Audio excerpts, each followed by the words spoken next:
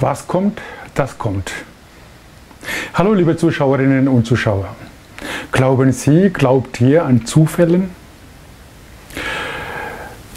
Ja, Corona hat die Sicherheit von uns einfach weggezogen. Plötzlich kam ein Virus. Wir wissen ja, dass es irgendwoher kam, aber wir haben nicht gewusst, dass es einfach so etwas kommen wird im Jahr 2020. Und wir haben am Anfang gedacht, vielleicht ist es irgendwo in China oder irgendwo in einem anderen Land, zu uns niemals. Aber plötzlich war es da. Und dann plötzlich haben wir angefangen, irgendwie damit äh, uns zu beschäftigen. Und dann haben wir gedacht, vielleicht ist es alles weniger. Dann plötzlich haben wir jetzt über 30.000 pro Tag. Die ganze Selbstsicherheit ist von unseren Füßen weggezogen. Und keiner weiß, ob wir überhaupt Weihnachten feiern können. Vielleicht auch gar nicht. Vielleicht müssen wir halt nur im engsten Kreis miteinander feiern. Nach 20 Uhr darf man auch nicht raus.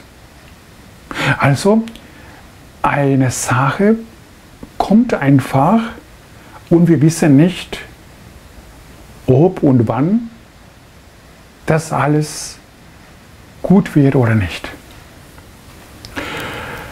Die Hindus und die Buddhisten würden sagen, alles passiert von der Karma. Aber jetzt frage ich mich selber, ob alle Menschen auf einmal eine Karma gemacht haben, damit alle Menschen auf einmal betroffen sind. Und wie gehen wir damit um? An diesem vierten Adventssonntag ist auch eine zufällige Erfahrung, was wir im Lukas-Evangelium hören werden. Nämlich ein Engel namens Gabriel kommt plötzlich zu einer Jungfrau und sagt, hallo Maria, du wirst schwanger werden, obwohl du nicht einen Mann hast. Also, du wirst einen Sohn bekommen. Und der Sohn wird der Höchste sein. Zufall. Man kann nicht glauben. Man hat schon Fragen. Sie hat auch die Frage gestellt, ja, wie, wie, hallo? Liebe Zuschauerinnen und Zuschauer, ist es interessant. Diese junge Frau sagt, okay, wenn das sein soll, dann nehme ich das an. Auf einmal sehen wir hier eine andere Erfahrung, dass ein Mensch eben sich hingibt zu diesen Zufällen. Und wie kann diese Frau das machen?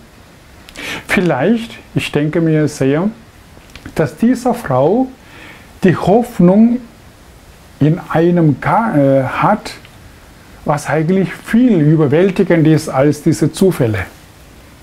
Ja, diese Frau hat in sich ein großes Vertrauen in ihrem Gott, dass sie sagt, okay, wenn das jetzt passiert, auch wenn ich kognitiv nicht nachvollziehen kann, wenn ich äh, nicht glauben kann, aber trotzdem habe ich irgendwie das Gefühl, dass mein Gott mich nicht verlassen wird. Vielleicht umgekehrt oder noch mehr, dass mein Gott wird durch diese Erfahrung mich höher machen oder besser machen. Jetzt kommen wir einfach mal zurück zu unserer Erfahrung momentan, dass wir mit dieser Corona wirklich sehr schlecht überrascht worden sind. Kann ich einfach jetzt einfach laut sagen, können wir Gott erfahren durch diese Corona-Erfahrung? Oder mehr gesagt, können wir Hoffnung schöpfen durch diese Erfahrung? Ich würde sagen, ja. Weihnachten, was haben wir gemacht? Wir haben auf unserem Kalender notiert. Am 24. muss Christus geboren sein. Am 25. ist der erste Weihnachtsfeiertag. Ganzes Land hat frei. Zweiter Weihnachtsfeiertag dazu. Aber Gott sagt nein. Schaut hier mal, der Kairos, das heißt, die erfüllte Zeit, was Gott für uns bestimmt hat, wird kommen, auch wenn wir uns nicht vorbereitet haben. Maria hat akzeptiert und angenommen, dass der Wille Gottes in ihrem Leben geschehen darf. Wir, wo sind wir?